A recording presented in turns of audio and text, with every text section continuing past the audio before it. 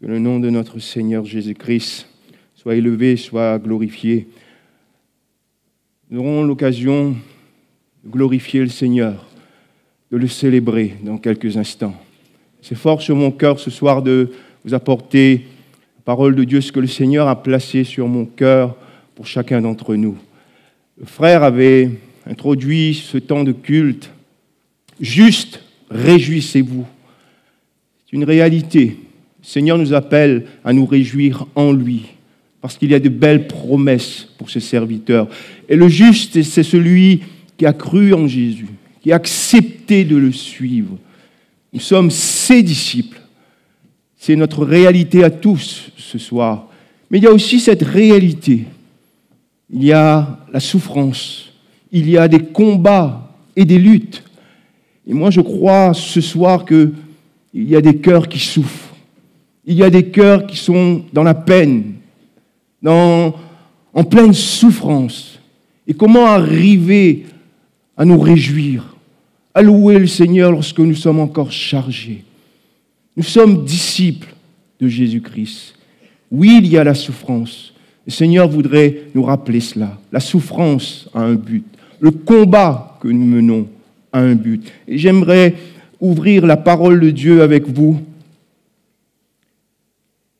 dans 2 Timothée. « 2 Timothée chapitre 2, verset 3.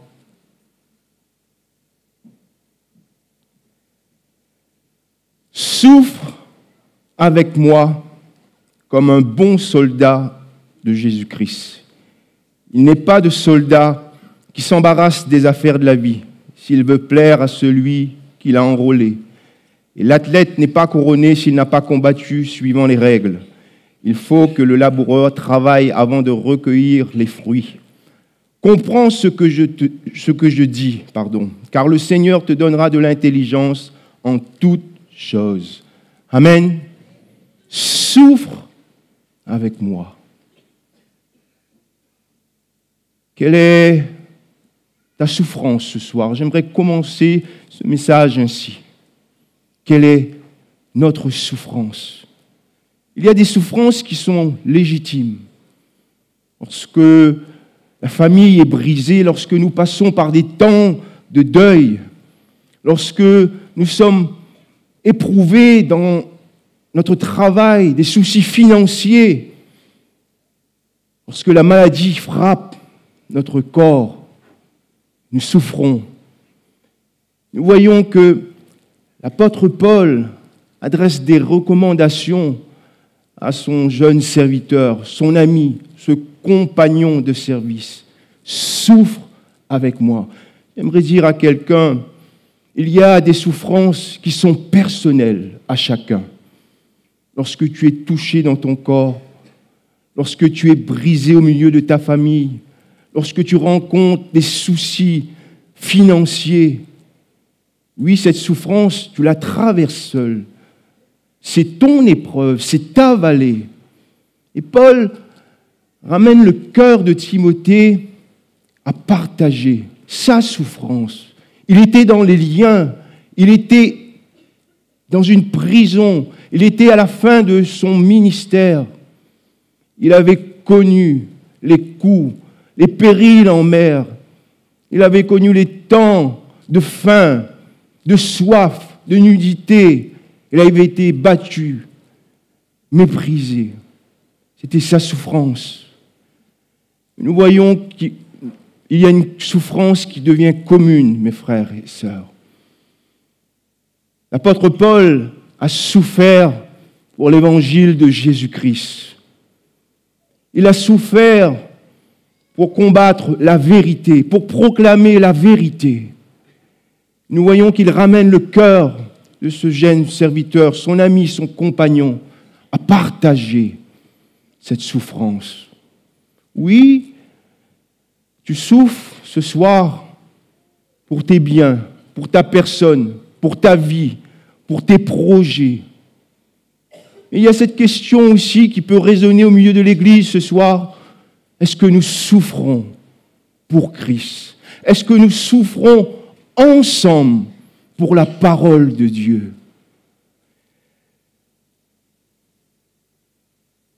La rencontre de l'apôtre Paul sur le chemin de Damas, Jésus va lui dire, Saul, Saul, pourquoi me persécutes-tu? Il va dire, Qui es-tu Seigneur? Je suis Jésus-Christ.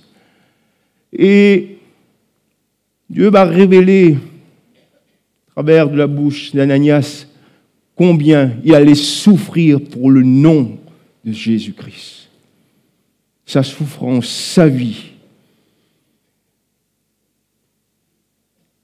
Quelle belle image que donne l'apôtre Paul. Souffre avec moi comme un bon soldat de Jésus-Christ.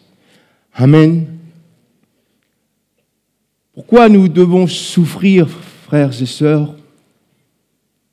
Nous avons la même vocation, le même Seigneur, la même foi, la même espérance.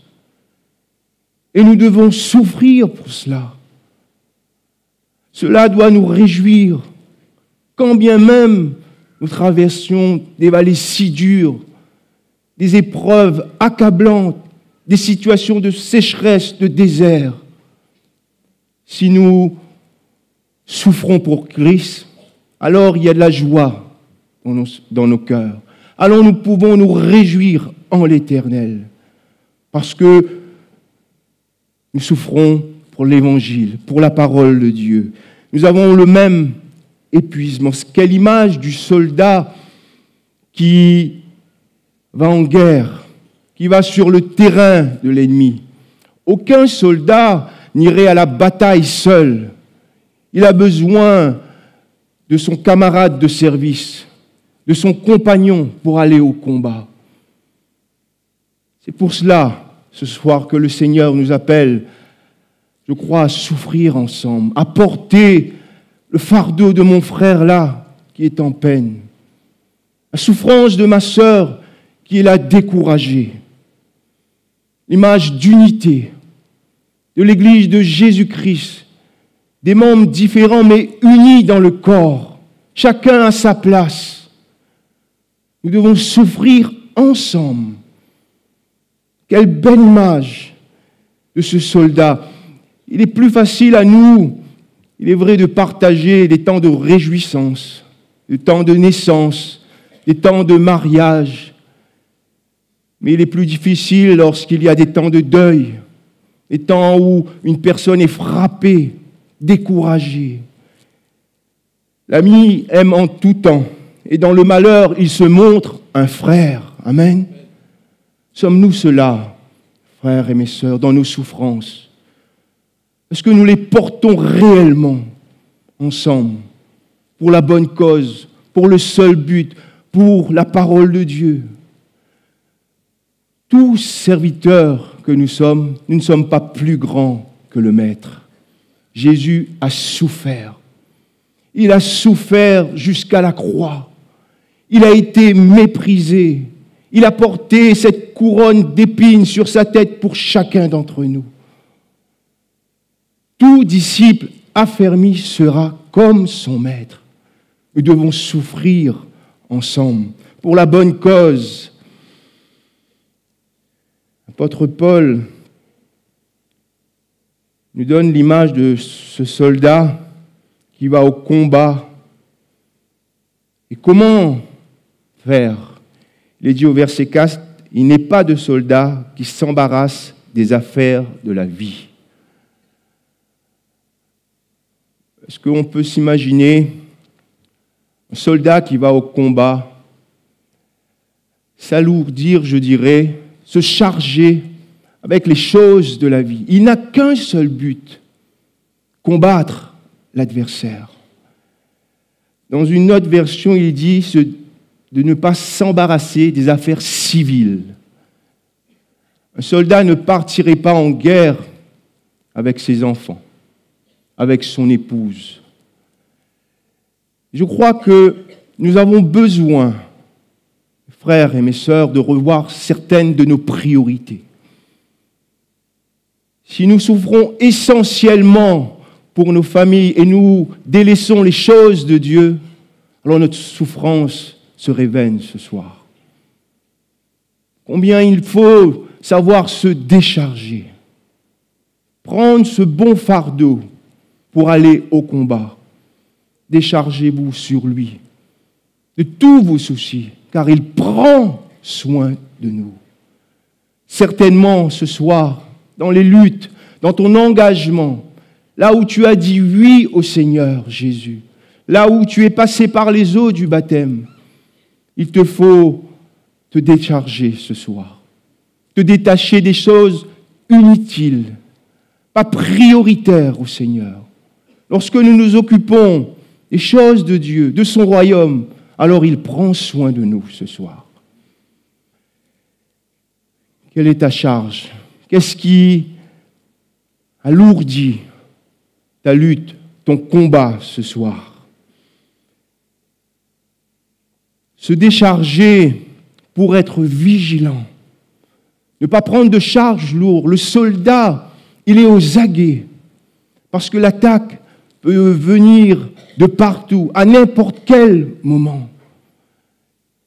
C'est une belle image aussi pour le chrétien, d'être vigilant, d'être, je dirais, concentré sur les choses de Dieu, sur la priorité de Dieu, sur le cœur de Dieu, afin de ne pas être surpris face à ce lion rugissant qui est prêt à détruire dans nos maisons, dans nos foyers, dans nos vies. Que nous ne soyons pas surpris face aux attaques de l'adversaire. Le soldat, il souffre comme le disciple, comme le serviteur.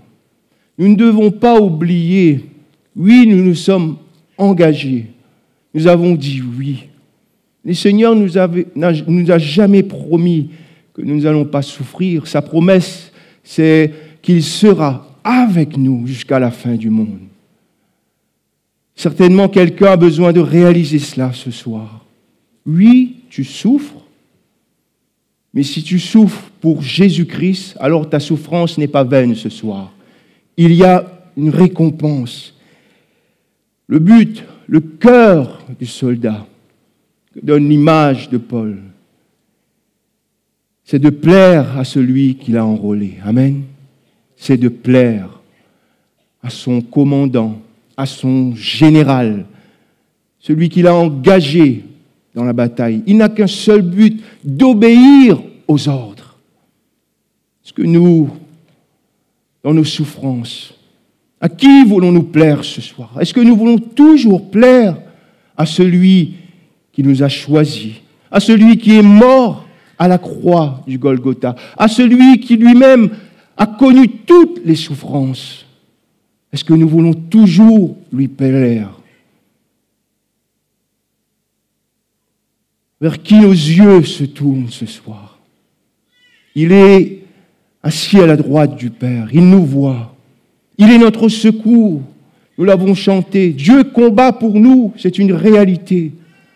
Mais nous, dans notre souffrance, qui veux-tu plaire, mon frère? À qui cherches-tu à ressembler?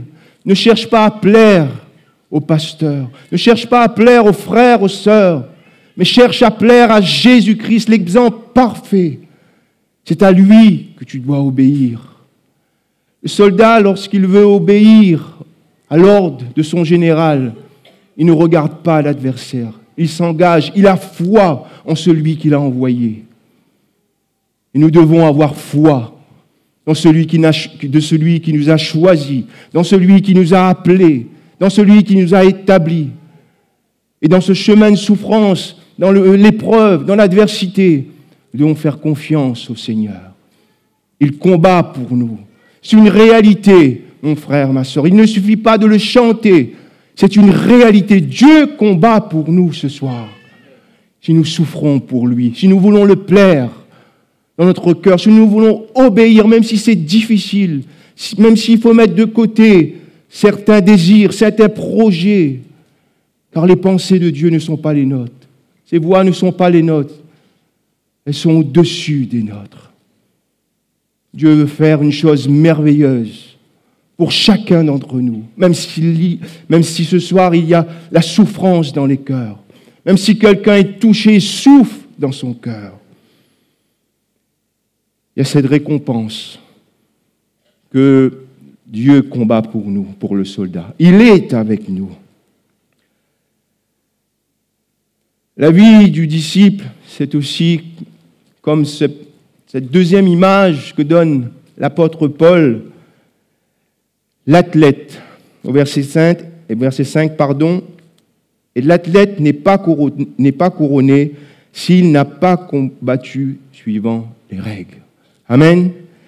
L'athlète n'est pas couronné s'il n'a pas combattu suivant les règles. Le disciple que nous sommes, nous devons mener le bon combat. Comme l'athlète, il doit veiller à sa préparation. Vous savez, les athlètes, ceux qui font des courses, n'importe quel sport, alors ils se préparent, ils veillent à leurs conditions physiques, à leur capacité à endurer des efforts, parfois violents. Ils veillent aussi à leur équipement, les chaussures, le vêtement.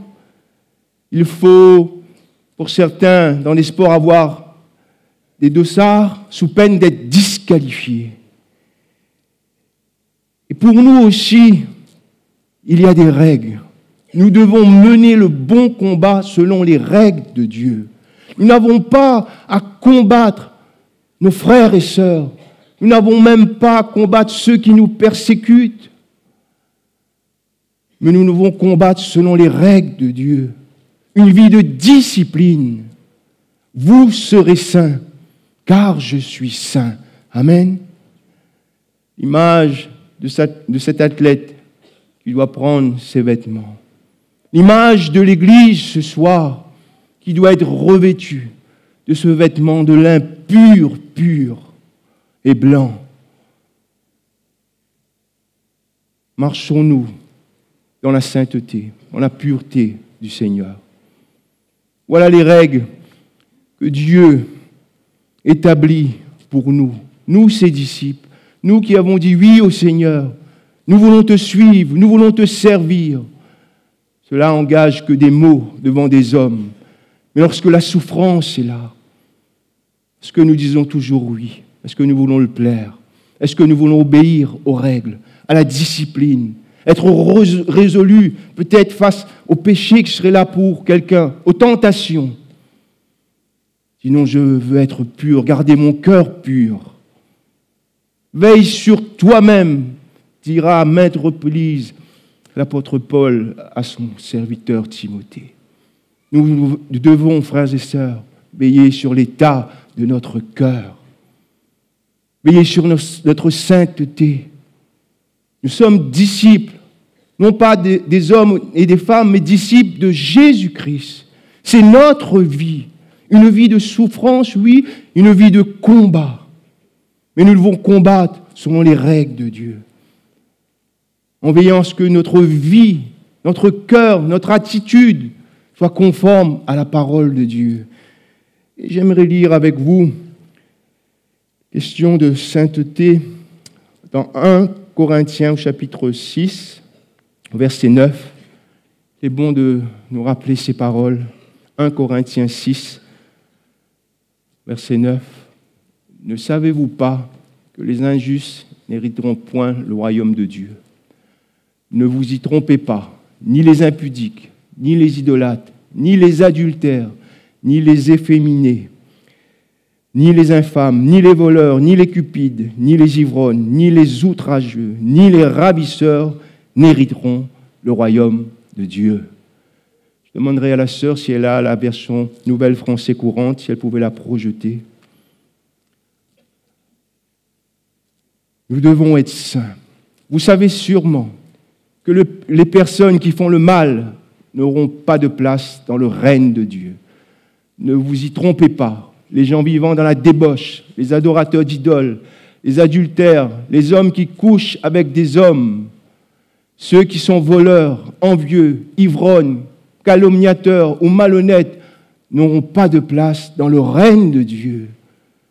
Est-ce qu'on peut dire ramène à ces paroles? C'est une réalité, c'est les règles, les principes de Dieu. Que nous sommes gardés de cela ce soir, de tout ce qui est dit, du vol, de l'impudicité, du mensonge. Quel est l'état de notre cœur? Oui, nous servons le Seigneur. Oui, nous voulons nous engager davantage. Mes frères et mes sœurs, nous servons Jésus-Christ et nous voulons le plaire dans nos luttes, dans nos combats. Si nous combattons selon les règles de Dieu, alors Dieu combat pour nous. Si nous marchons dans cette vie de sainteté. Il est dit aussi, je lis pour vous le psaume premier, Heureux l'homme qui ne marche pas selon le conseil des méchants, qui ne s'arrête pas sur la voie des pécheurs et qui ne s'assit pas en compagnie des moqueurs. Amen. Réjouissons-nous. Juste, réjouissez-vous en l'Éternel. Pour nous bien combattre, mes frères et mes sœurs, il nous faut des armes spirituelles. Il nous faut cette arme offensive, la seule arme offensive qui nous permet de combattre. L'épée de l'esprit qui est la parole de Dieu, mes frères et mes sœurs.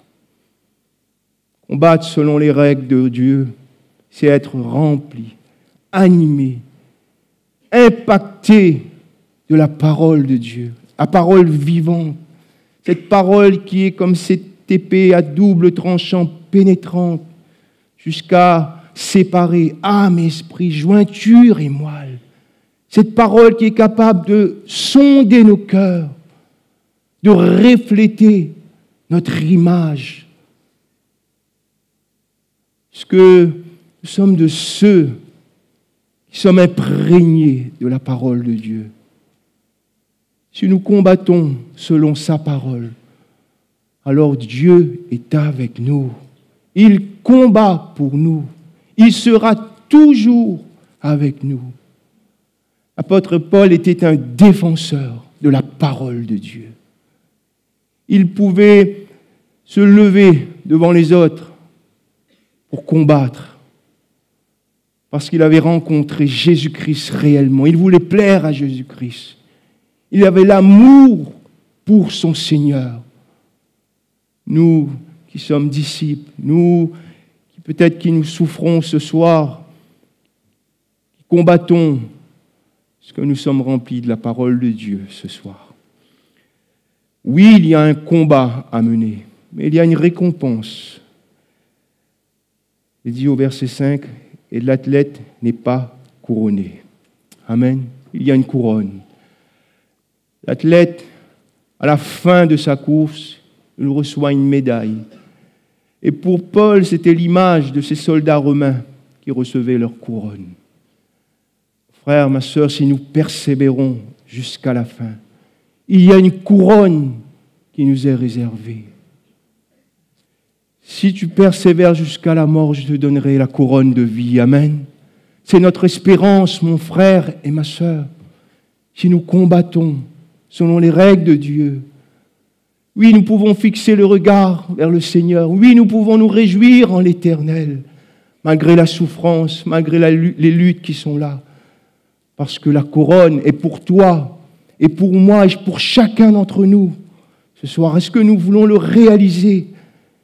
Certainement que quelqu'un souffre dans son cœur et peiné dans ce soir. Dans les luttes que tu traverses, tu es découragé. Seigneur veut ranimer ton cœur. Il y a une espérance, il y a une récompense pour toi. Tu ne combats pas en vain. Ta souffrance n'est pas vaine. La vie du disciple est comme l'image de ce laboureur qui travaille. Il faut que le laboureur travaille avant de recueillir les fruits. Pardon. Amen. Le laboureur, le pasteur Samuel avait fait des messages et vous pourrez l'écouter sur notre site, revoir cela. Le laboureur est celui qui prépare son terrain. Il est celui peut-être qui fouille des tranchées. Il est celui qui sème. Il est celui qui arrose. Il est celui qui surveille. Il est celui qui prend soin. Et il est celui qui attend le fruit de cette récolte. Quelle belle image pour les disciples, pour l'Église ce soir, pour nous, dans notre investissement. Est-ce que nous travaillons Est-ce que nous servons toujours le Seigneur? Certainement, le Seigneur parle à quelqu'un ce soir. Quelqu'un qui a arrêté de servir le Seigneur, qui ne travaille plus pour Dieu. Le Seigneur voudrait t'encourager ce soir de prendre à nouveau ton cœur pour servir Dieu. Comme pour le laboureur, nous devons préparer le terrain, avoir une relation, avoir une vision avant de nous engager. La passe par une relation, mon frère et ma soeur, avec Jésus-Christ. Être au pied de Jésus-Christ.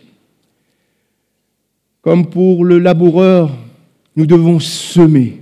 C'est notre travail, c'est notre mission d'aller semer d'aller annoncer, d'aller témoigner, d'aller proclamer la bonne nouvelle, l'évangile de Jésus-Christ. Même si nous souffrons, même si nous sommes dans les combats et les luttes, nous devons semer, mes frères et mes sœurs, en tout temps.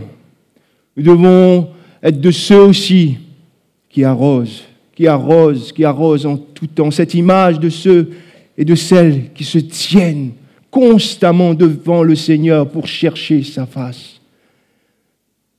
C'est sur mon cœur, c'est bien trop facile de dire oui et de répondre à un appel et de se lever.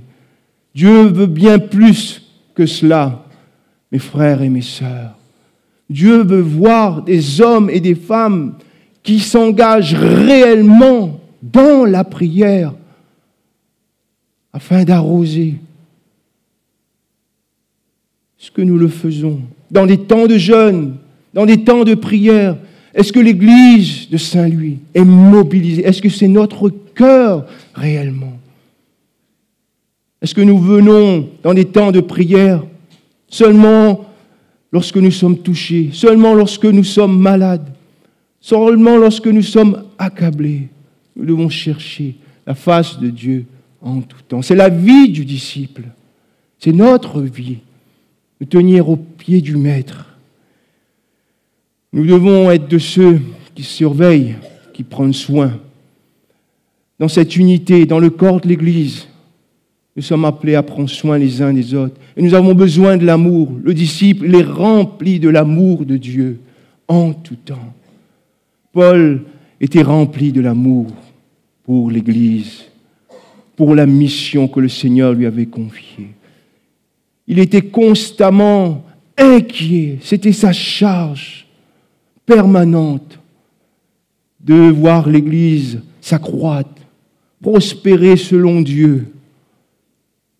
Est-ce que nous avons ce cœur, mes frères et mes sœurs, disciples de Jésus-Christ, remplis d'amour,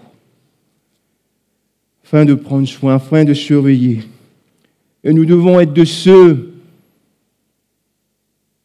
qui attendent le retour du Seigneur. Amen. C'est notre espérance.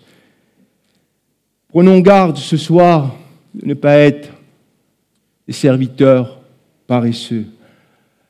Dans cette parabole de talents, qui, à qui le Seigneur Jésus avait confié des talents, qui n'avait pas travaillé, qui avait caché ce talent Combien Jésus va lui dire cette parole dans cette parabole, serviteur paresseux?